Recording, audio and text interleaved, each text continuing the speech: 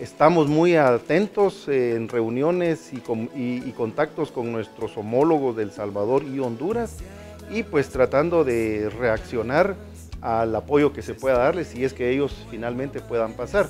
Ustedes saben que no podemos evitar el ingreso de, de estas personas y estamos teniendo ya una serie de reuniones para definir protocolos de atención porque lo que menos queremos es ser solo reactivos a cada vez que se nos anuncie que ya entraron a nuestra frontera eh, una cantidad de personas, porque quisiéramos estar preparados ya con una estrategia clara de cómo poder apoyar a las personas si es que finalmente ingresan al país.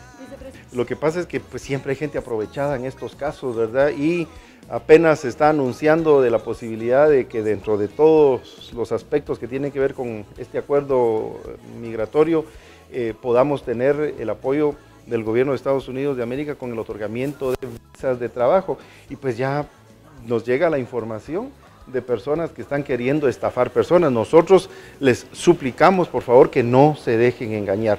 El presidente estará anunciando oportunamente junto con el canciller y el Ministerio de Trabajo de qué forma se va a operativizar cuando eso sea una realidad.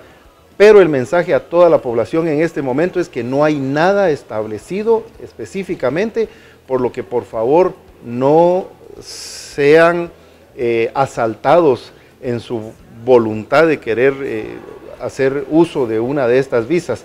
Esa es una estrategia que se definirá claramente y en su momento el presidente lo dará a conocer.